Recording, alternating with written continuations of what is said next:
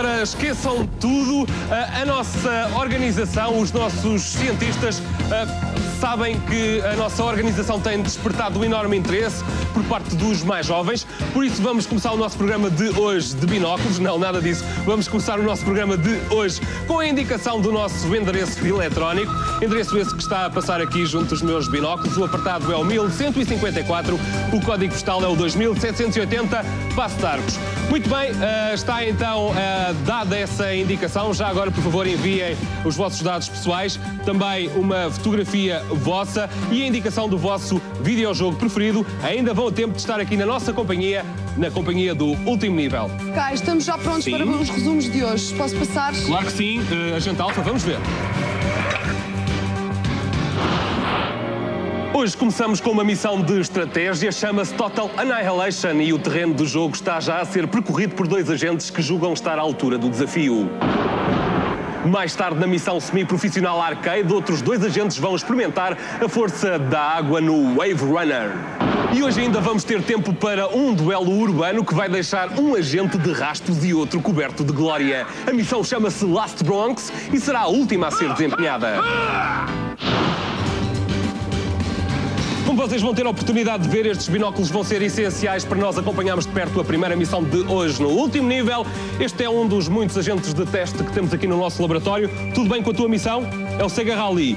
Parece que não está a correr eh, nada mal a tua missão. No entanto, agente Alpha, podemos ver eh, a identificação dos primeiros dois agentes? Já estão ambos em plena missão. Muito bem, vamos então ao encontro da primeira missão de hoje no último nível. Enquanto isso, o agente Alfa vai então fornecer os dados dos nossos dois agentes. Wave vem da Pova de Santo Adrião e tem 14 anos. E o Sega Boss, que vem de Mira Sintra e tem 13 anos. Esta é uma missão militar de combate, de estratégia. Temos então aqui do meu lado direito uh, o Sega Boss, é este senhor que está aqui do meu lado direito. Deste lado temos o Wave e eles vão prosseguir a sua missão no último nível. Nós já cá vamos voltar, mas antes temos mais aventuras para vos mostrar. O Wave e o Sega Boss vão ficar aqui na sala 1 num duelo que vai durar o programa inteiro. Daqui a mais ou menos meia hora nós vamos voltar cá para ver como é que saíram. Em jeito de PS, queria ainda acrescentar que o Sega Boss comanda o Exército Vermelho, enquanto o Wave comanda o Exército Azul. Nesta primeira fase, eles estão a criar as respectivas fortalezas humanas para fornecerem um exército. Depois, mais tarde, vamos ter um encontro de forças. Mas para já, estes dois senhores que vamos ver já de seguida na imagem vão continuar bem concentrados para definirem as regras deste jogo. Aí estão eles.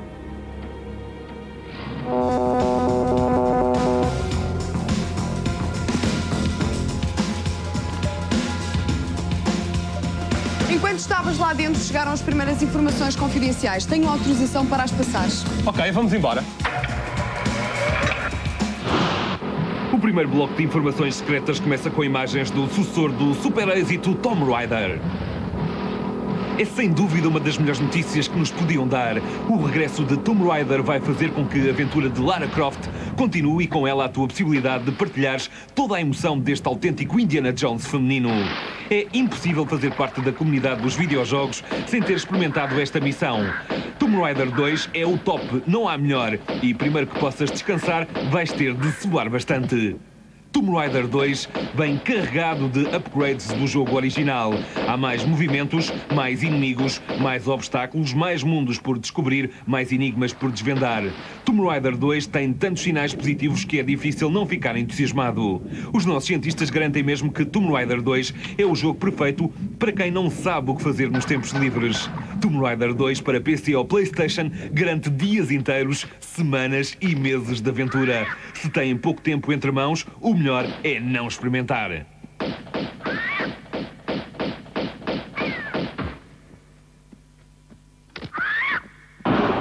E agora os nossos cientistas permitem-nos uma espreitadela no Last Bronx, um dos jogos de competição que ainda hoje vão passar por aqui no último nível.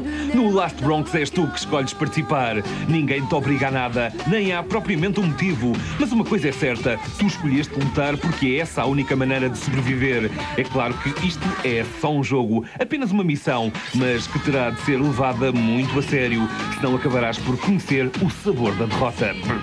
Last Bronx é uma conversão do mesmo jogo semi-profissional arcade com vários lutadores à tua escolha em cenários múltiplos. Um último aviso: os nossos cientistas garantem que se praticares muito no Last Bronx, podes vir a desenvolver músculos do calibre do nosso segurança aqui no laboratório.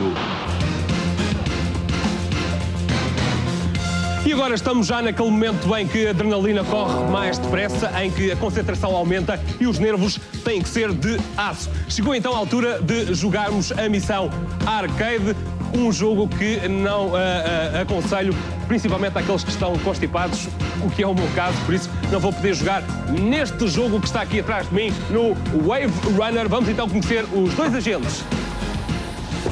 Star Wars, ela vem de Lisboa e tem 12 anos e o Shredder, que vem de Loures e tem 15 anos.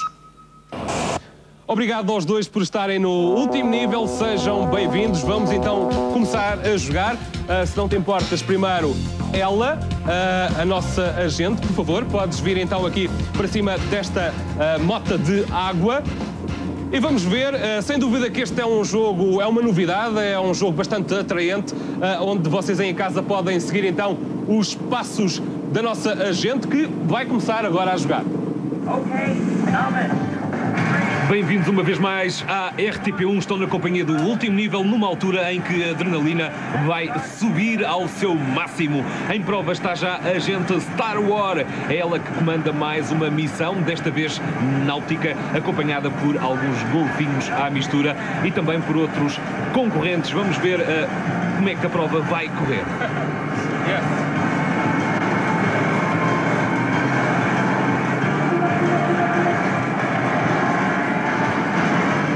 Agora uma pequenina saída de pista, um pequeno desequilíbrio, mas nada de grave. Mais um salto, mais um jump. Aí está Star Wars, nesta altura está numa posição menos boa. Uh, aí está ela na imagem. Está uh, menos boa não, porque acaba de passar duas motas. Agora desce uma posição. Está em nono lugar, agora em décimo. Está, portanto, em último lugar. Acaba de ter uma extensão de tempo. Vamos aí, Star Wars, vamos, vamos ver uh, se conseguimos melhor posição e vamos vamos ver também em que lugar é que vais terminar a tua missão. Depois uh, joga um outro senhor no último nível, mas é melhor vermos as imagens.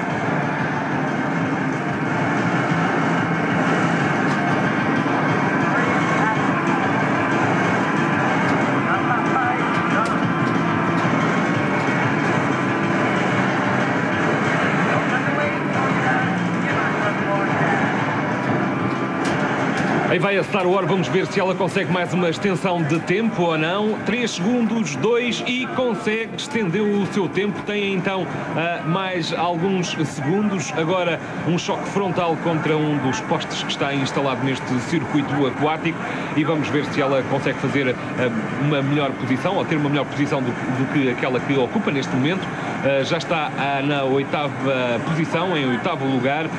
tem apenas 5 segundinhos, certamente já não vai conseguir a extensão do tempo, pois não, um, e terminou a prova. E ao final da prova da Star Wars, ela ficou na nona posição. Ela ficou na nona posição. Agora é a vez deste rapação jogar. Shredder, podes então ir para cima da mota de água. Atenção aos banhos, não caias muito. Vamos então ver a prova deste senhor.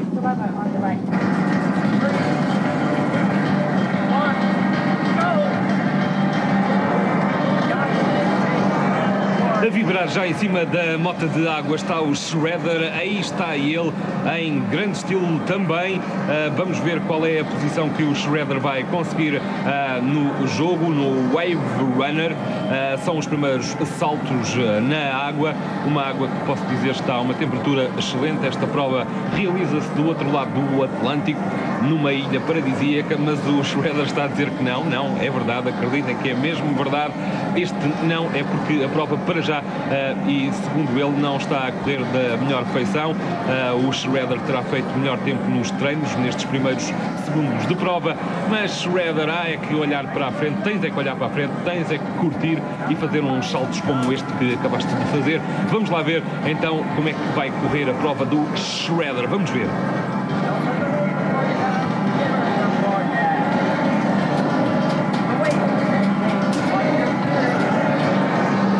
Shredder vai conseguir mesmo à queima uma extensão de tempo, tem mais 30 segundos para conseguir uma melhor posição do que aquela que ocupa neste momento e é isso que ele terá que fazer então eh, para ver se consegue ganhar esta missão, se consegue ganhar esta prova. Mais uma bela imagem do nosso concorrente que está ali uh, a segurar a sua mota uh, para não cair da mesma. Vamos lá, Shredder, vamos ver se consegues fazer melhor do que a décima posição, mas o tempo está a terminar. Adeus. É sem dúvida excelente o Wave Runner jogado em arcade aqui no último nível. Shredder não uh, ficou melhor do que na décima posição, em último lugar. Esta menina linda que eu tenho aqui ao meu lado, uh, Star Wars, ficou em nono lugar, num total de 10 motas de água, portanto ela ficou melhor do que o Shredder. Por isso vai receber também o, o devido prémio, ela e ele. Vamos então conhecer os prémios. Obrigado aos dois por terem estado no último nível. Star Wars é o nome do vencedor, uma consola Sega Saturn é o seu prémio. Shredder foi mais fraco, mas não se afogou. Ele vai levar um beeper da telemensagem e ambos ganham um Pocket Boy. Parabéns. Mais missões aqui no último nível, só depois do intervalo. Uh, não se esqueçam de esperar pelo nosso convidado de hoje, mas antes vamos fazer uma pequenina. Exatamente, pausa. Último nível. É verdade, este senhor, o Pedro Conceiro, está na nossa companhia. Ele vai ser o nosso convidado, ou é o nosso convidado nos próximos minutos. Ele vai testar uma das nossas missões. Mas para já, Pedro, não sei se estás de acordo ou não, vamos ver o que os próximos minutos nos reservam. As imagens estão dentro desta disquete. Vamos ver. Estas são já imagens da nossa missão Sega Saturn no Last Bronx. Dois agentes vão ser observados pelo Pedro Coceiro, o nosso convidado. E claro, falta-nos ainda esperar pelo final da missão em CD-ROM Total Annihilation. Bem-vindos a mais um bloco secreto de notícias que começa a mais de 200 km a hora.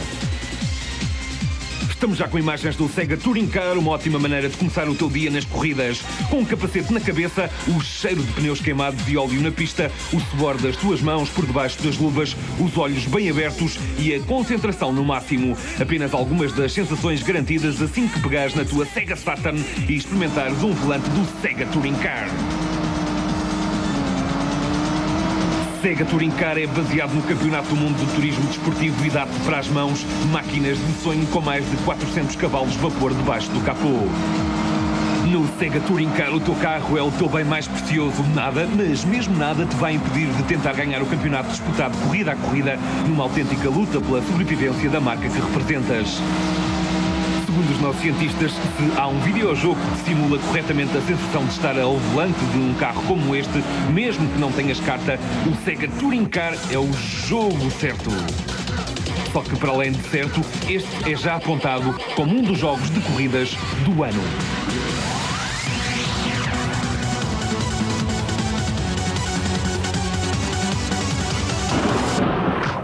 Depois das corridas, mantenham a vossa forma física em boas condições e preparem-se para uma verdadeira tareia. E se pensam que estão preparados para todos os desafios, aconselho-vos a pensar duas vezes. A razão está bem presente nas imagens que se seguem. Bem-vindos a Fighting Force, o novo jogo de luta estilo arcade em 3D para PC ou PlayStation. Os nossos cientistas já o experimentaram e garantem que só os jogadores mais experientes noutros ambientes semelhantes é que vão ter algumas chances de completar o Fighting Force. As razões estão bem patentes no exemplo que estamos a ver. Os movimentos de luta são espantosos. Cada personagem principal tem mais de 50. Os caminhos que podes tomar dependem da tua escolha pessoal, deixando salas e outros locais por explorar. De resto, o Fighting Force permite que chames um amigo para tentar despertar despachar maus em conjunto. Descobre os objetos que podem salvar a tua vida, experimenta pegar neles e usá-los como armas. Vais ver que vais ter algumas surpresas, mas se fores suficientemente atrevido, verás que todos vão querer jogar contigo. Os únicos que podem não gostar lá muito da brincadeira são apenas os teus inimigos que estão à tua espera no Fighting Force.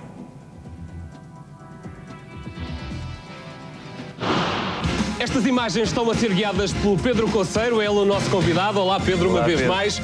Como é que começou a tua paixão ah, pela Fórmula 1? Foi nos karts? É um Comecei, processo normal? comecei nos karts, mas eh, era ainda criança quando pegava já no volante, nos corredores e nos quintais. Ah, um corredor de alta competição tem obrigatoriamente que ter diversos cuidados, não só Tem. alimentares, mas também físicos. Que preparação é que tu tens? Uma preparação, penso que diária. Tenho uma preparação diária física, principalmente entre novembro e março. Fora das corridas treino diariamente duas, três horas. No período das corridas eh, tenho que medir um pouco mais nas, nas minhas ações, porque já tenho os gastos físicos e inerentes às próprias corridas e treino três vezes por semana. Em termos alimentares, eh, como de tudo, adoro comer a minha feijoada ao fim de semana, mas certeza sou bastante regrado. Quando é que vimos o Pedro Coceiro num cenário desses grandiosos na, na Fórmula 1? É difícil, é difícil. A Fórmula 1 neste momento está cada vez mais longe, são necessárias verbas astronómicas. Eu vou com certeza continuar ao maior nível em termos de desporto automóvel mundial, mas Fórmula 1 nos próximos tempos deve ser bastante difícil. Há pouco em off nós falávamos os dois e tu ah, transmitias-me que para correr ah, num grande prémio de Fórmula 1 era necessário assaltar um banco. Porquê? Porque as verbas ah, que estão em causa são enormes, não é? Está a esse nível e se calhar já um, um banco já, já não chega. Um, dois, três bancos, se calhar, para entrar numa equipa. Então dificilmente Fórmula 1. vamos ter um português a correr em breve na Fórmula 1. Nunca se sabe, com certeza que temos todos que puxar para ter lá brevemente um, um português, mas é difícil. Neste momento a, a parte japonesa está todos os anos a meter dois, três pilotos com, com malas cheias de dólares e nós não temos essa capacidade. O que é que o Pedro Conselho está a fazer neste momento? Neste momento estou a preparar a próxima época, para 98. A Fórmula 1, como tu disse, está, está fora de causa. E vou, em princípio, fazer grandes turismo ou turismo, carros fechados. Desta vez vou deixar de andar com o pescoço fora do carro, começar a andar com ele dentro. O Pedro Conselho vai continuar connosco nos próximos minutos. Ele vai assistir a uma das nossas próximas missões, mas para já, e segundo o que estou aqui a ver na minha cábula eletrónica, esta mesmo, ah, nós vamos ao encontro dos nossos dois agentes ah, para ver como é que eles estão a portar na missão Total Annihilation. Vamos então a isso. Bora, Pedro.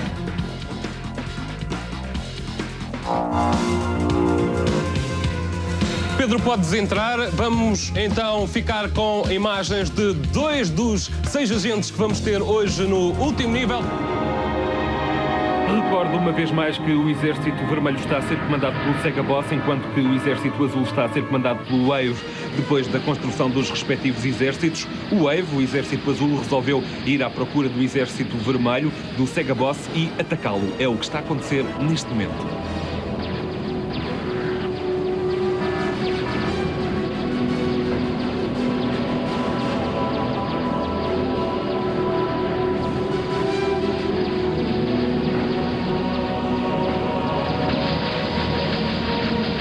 Pedro, convido-te a acompanhares e a vocês também aí em casa para conhecer dois agentes, mais dois agentes que vão estar agora no último nível para testar mais uma missão. Vamos a isso, Pedro. Adversários no Last Bronx, Viper tem 12 anos e vem de Massamá. E o viciado que tem 12 anos e vem da Bobadela. Atenção, Sky, estes agentes vêm especialmente recomendados. Bem, se vocês vêm recomendados, tudo bem, é porque têm de certeza provas dadas. Podem cumprimentar o nosso convidado, o Pedro Coceiro. Segurança, tudo a postos, tudo ok, tudo bem. Vamos então entrar e dar início a mais uma missão. Como o nome indica, Last Bronx, o jogo vai começar e vai ser acompanhado pelo nosso convidado. Vamos a isso. Vamos então a isso, Sky. Temos o viciado a jogar agora do nosso lado esquerdo do ecrã. É este homem zarrão com umas calças castanhas e um colete ah, branco. Do outro lado está o Viper e é o primeiro KO para o viciado. Agora temos um KO para este senhor, o viciado, o maior dos dois agentes, pelo menos em tamanho e habilidade. Depois, para já tem o Agora é a vez do Viper responder. Ali algumas ripadas e mais duas marteladas seguidas. E poderia ter saído agora um KO, o segundo para o viciado, mas o Viper está a responder bem e está também a dar bem no uh, viciado, mas sai o segundo KO para o viciado, 2 para o viciado, 0 para o Viper. Mas enquanto vamos acompanhar agora o round 3, uh, vamos uh, uma vez mais à conversa com o nosso convidado, ele é o Pedro Roceiro.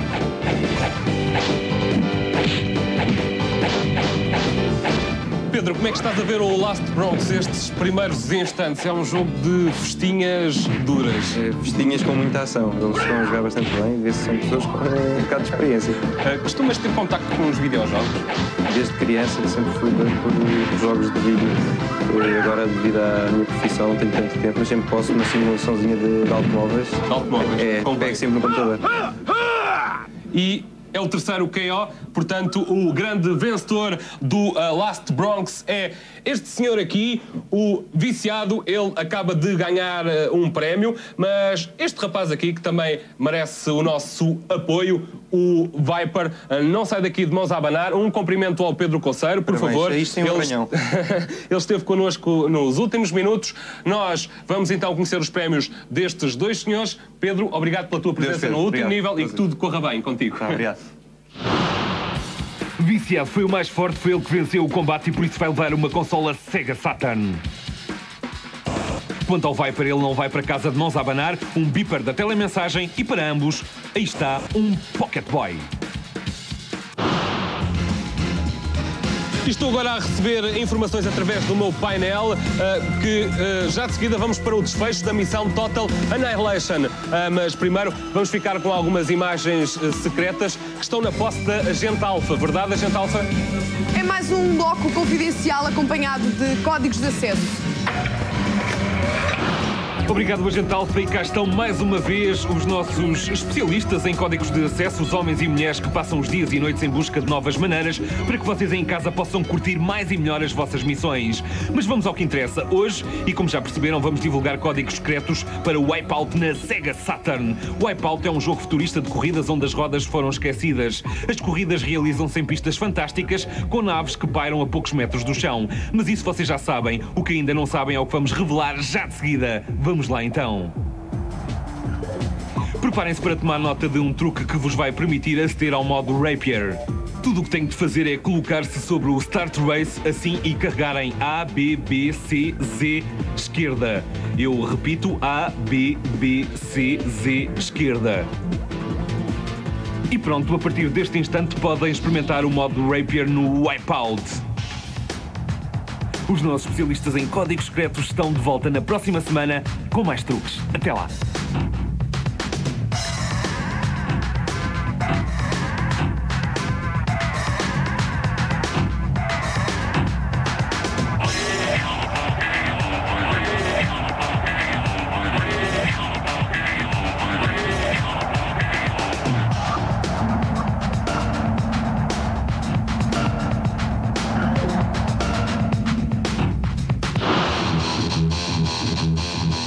Bloco de notícias confidenciais no último nível começa nas pistas de corrida. Já alguma vez pensaste em ser piloto profissional? Não? Então este jogo não é para ti. Mas por outro lado, sonhas com uma vida acelerada e vais para a cama com um capacete na cabeça alto para tudo. É que este é bem capaz de ser o videojogo da tua vida. Screamer Rally para PC é, tal como o nome indica, o último grito de jogos de corridas. Não acreditas? Então abre bem esses olhos.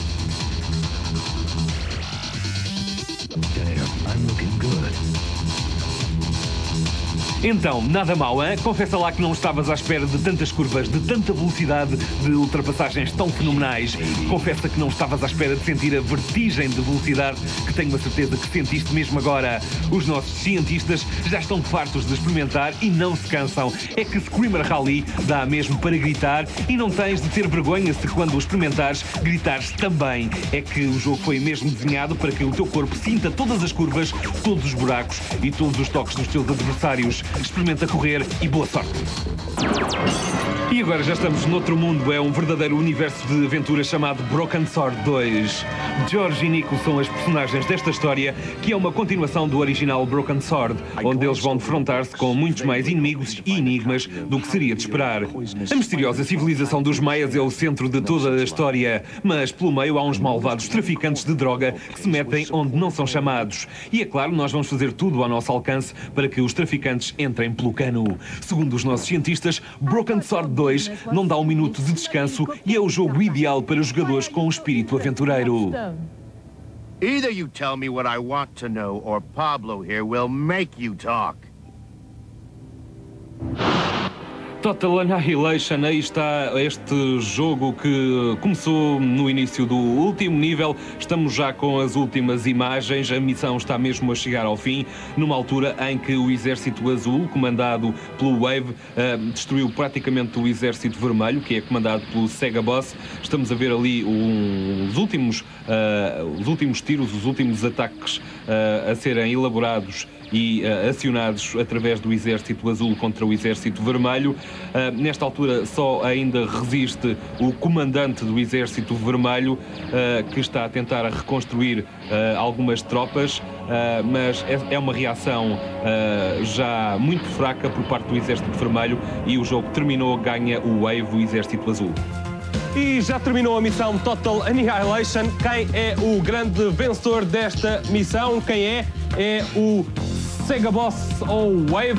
Vocês apostam em quem? Vou então revelar, desvendar o grande vencedor desta missão. É, deem cá as vossas mãozinhas. É, é, é. É o Wave, é ele o vencedor desta missão no último nível, mas aqui o Sega Boss também vai para casa com o seu prémio. Vamos ver. Vencedor deste desafio, Wave recebe uma consola Sega Saturn. Quanto ao Sega Boss, melhor sorte para a próxima. Ele vai levar um beeper da telemensagem e para ambos um Pocket Boy. Parabéns! E pronto, o último nível continua para a próxima semana com mais missões para cumprir. Se tu aí em casa achas que tens as qualidades essenciais para passares pela nossa organização, tudo o que tens que fazer é entrar em contato com a nossa organização. O apartado vocês já sabem qual é, é o 1154. O código postal é o 2780. Passo Arcos, eu, o Sky, também a agente Alfa e a Eletra. Vamos estar aqui à vossa espera. Uh, se pensas, se achas que nenhum videojogo te faz frente, estás muito bem enganado, é porque ainda não experimentaste as nossas missões, ainda não experimentaste as nossas missões, por isso vamos estar aqui na próxima semana, encontro marcado para o próximo domingo, sempre na RTP1 e espero já, sem esta constipação, estar aqui então em forma para vos fazer companhia. Atenção, cuidado com o frio e protejam-se. Até lá, tchau, boa semana.